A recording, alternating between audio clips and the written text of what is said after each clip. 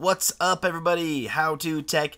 We got a Samsung Galaxy S7 Edge version. Uh, got this phone just barely also. We're going to take it apart. We have a iSesamo opening tool. We have a couple of playing cards, a couple guitar picks to help us get this back off of the phone. A couple of nylon spudgers, uh, just in case we need to pop up some cables on the inside. A small triple O Phillips screwdriver and a pair of tweezers. We also need a heat gun uh, to do this repair. So let's go ahead and start with the first step, which is popping out the SIM card on the phone. Go ahead and insert it and just go ahead and remove that. That way when we go to remove the logic board, it's not holding it in. Also make sure your device is powered off. So we're to go ahead and start on the back of this phone. So we're going to heat it up all around the edge of the phone so we can remove the back off of it. And we're going to get this nice and warm. Now, I'll make two versions of this video. This is the long one, unedited, well, as much as unedited as possible. There's a couple cutaways and, and things like that in here where I forgot tools or whatever. But So we're going to get this nice and warm. This is a heat gun. It's set to 500 degrees Celsius.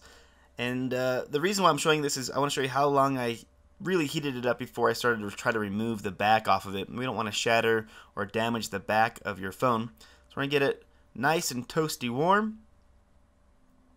Definitely not there yet.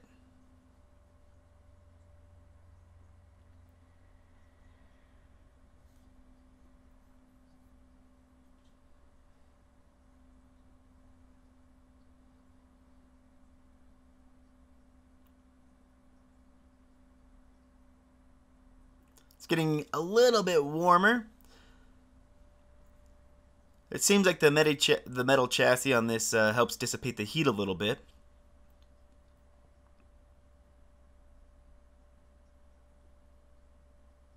Now really what we're going to do is start at the bottom of the phone and then kind of work our way towards the top.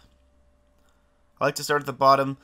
That way there's more area to work with. We don't have to worry about uh, damaging uh, or shattered points around the camera at all.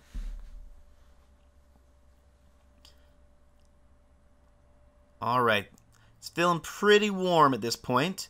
I don't want to put my hand on it for very long, uh, but it's not uh, to the point where it's going to be melting anything. So we're going to take our iSesamo tool and just put the small tip in here real quick. And I don't want to use this metal tool all the way around because that will ding and damage the coloring on the back side of the back cover here. So we're going to put our playing card in, and this is a much safer tool to use here, and work around. You can see how gooey that glue is. It's already stuck to that playing card. So we're just going to tip it around the outside. Now this has a much shallower curve than the S7 does, so it's not as easy to, to crack it around the corners, but as you move the card around the corners, try to not use a whole bunch of the card there, uh, just kind of the tip area. Perfect. You can see making quick progress on this phone. Now when you're putting your card in, you don't necessarily want to go too much further up than the S7 Edge logo on the back of the screen there. There's a charge mat underneath it from the Samsung logo down. So we're going to heat up this opposite side here, and we'll use a playing card to separate this side.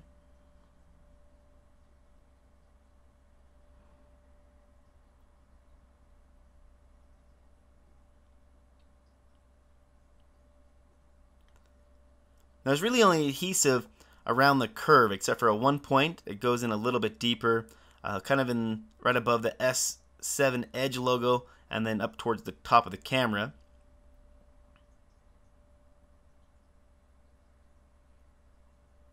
Much easier to start using a clean side of the card uh, once the one side gets kind of gummed up. Alright, now that we have that side done, we'll go ahead and start on the opposite side of the volume button.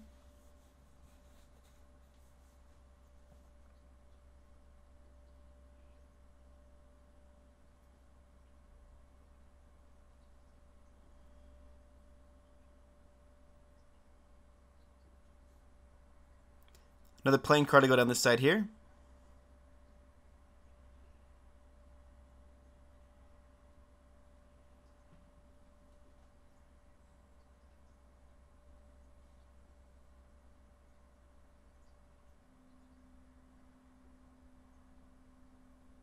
Right now it's feeling pretty loose at this point, but I don't want to pull it just off the top. We're going to heat it up.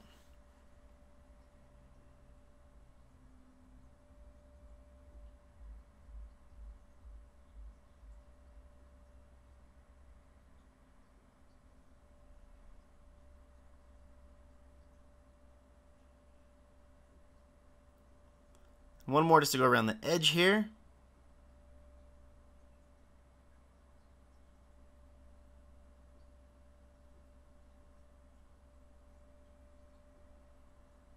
Lots of adhesive up here at the top of the phone. Right in this corner.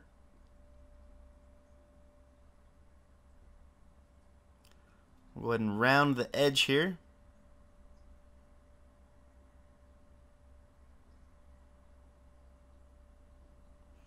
Alright, there we go. Should pop right off for us. Excellent. So now you can see the interior portion of the phone and the residual glue on the back of the device. So you can see that up in that upper right hand corner, lots of adhesive down there towards the S7 Edge logo on the back of the screen. You can see there's adhesive there and a little bit of adhesive just around the charging port area of the phone as well. So those are the key points to keep an eye on when you're removing it. That way you don't damage the glass at all. So let's go ahead and start on removing the screws. There are 12 screws to remove off the back. We'll go ahead and pull out all 12. Now sometimes these screws can be a little finicky to get out. They'll get stuck kind of in that plastic housing as they've been screwed in a little snug. If that's the case, just leave them in there and then use a pair of tweezers to come back and pull them out.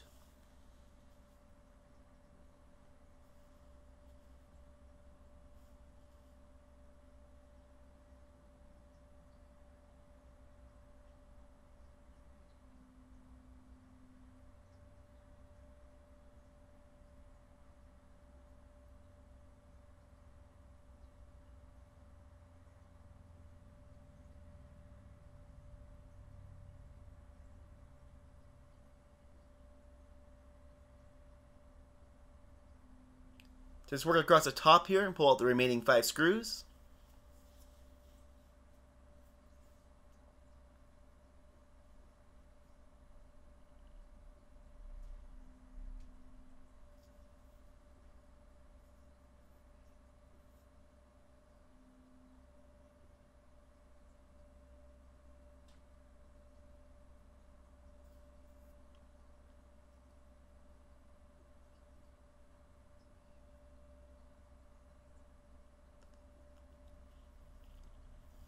Alright, now with that done, we'll just pull out this one straggler down here at the bottom.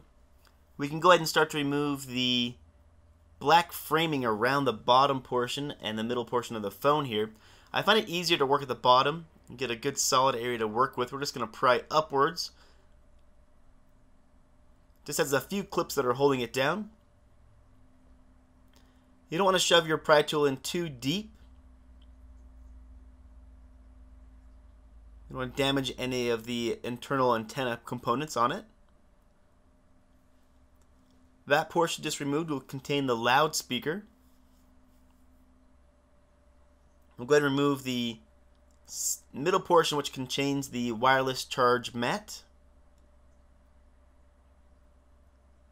Just being careful as if we pry against the logic board that we're not damaging any of the antenna portions that are sticking up. So little adhesive stuck to, looks like the proximity sensor up here.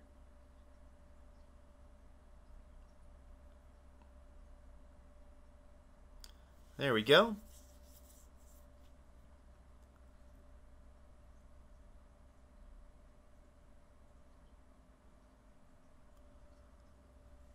Can work on removing the top portion.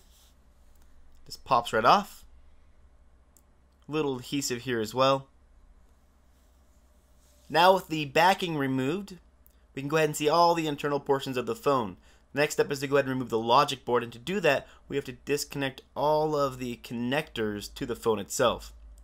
So we'll start down here at the bottom with the home button, the two wire antenna connectors, the power button, the display connector.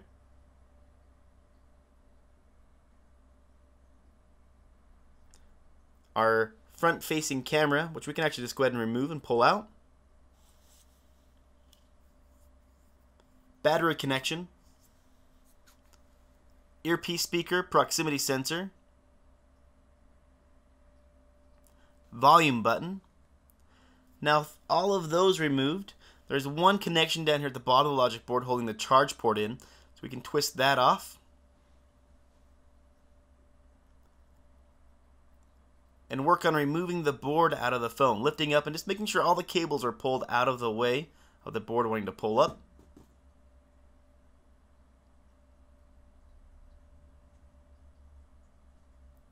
Now with that done, we can go ahead and remove the board Flipping it over, you can see that the camera connection is just like all the other ribbon cable connections on here. Just pop that off, and you can replace your camera on the rear portion of the phone. Next step is we're going to take out the battery, and to do that, we're going to use a flat tool. Now, I like to start off with a flat metal tool. A lot of people will say metal's bad, but just don't puncture your battery, you'll be just fine. So using the dull side of this iSesamo tool, we're just going to use this to get started to give us a little bit of opening underneath the battery. It's adhered all the way around in a square. We're just going to use a handy dandy trusty Amazon gift card here. Uh, makes a great battery remover. So just putting it in, sliding it in underneath and pushing it as far as you can. Now you do want to be careful as there's an opening in the back portion of the phone uh, where the display is at, so you don't want to pry against that.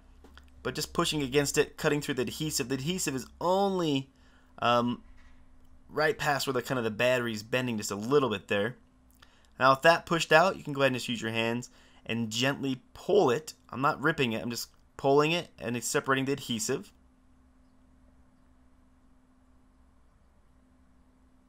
Now we'll remove the battery for us. See the adhesive across all four sides.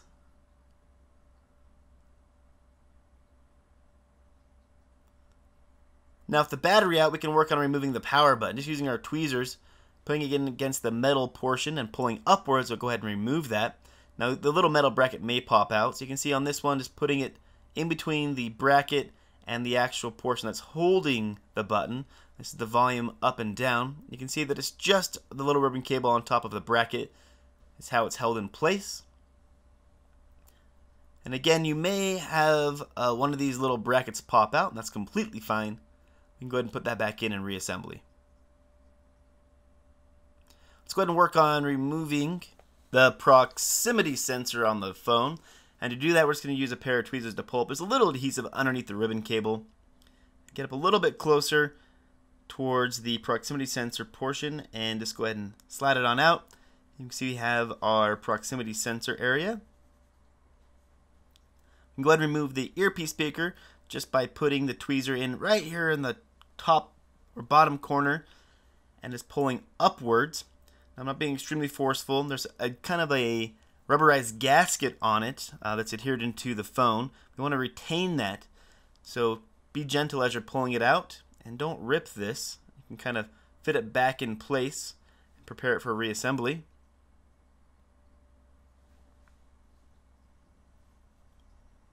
Let's go ahead and pop out the vibration module. There's a little opening up here at the top. Putting your tweezer in and just pulling up should let it pop right out for you.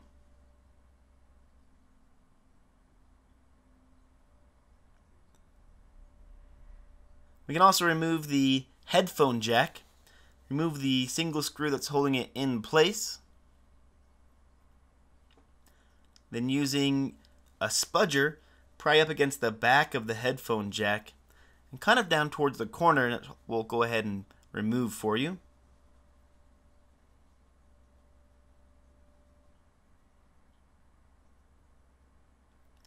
You do want to undo the ribbon cable connection also. Alright. We have that removed. There's a little grounding connection on it as well. So in reassembly, make sure that's put back in touching the metal frame. You can remove these two wire cable connections.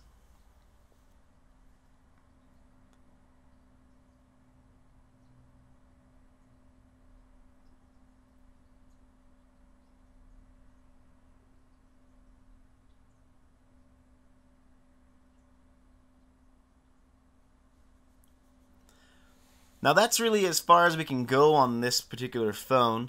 The charge port cable is wrapped around underneath the display on the front. So to replace your charge port, you're going to have to go ahead and remove the screen. And this is being the Edge phone, I am not going to do that because it's almost impossible to remove these Edge screens without damaging them. So hopefully you can find a whole assembly and just put all the pieces back in. I'll go ahead and show a reassembly, a reassembly video down at the bottom. I'll link the short video in the bottom as well. Anyways, thanks for watching. Catch you in the next one. Peace.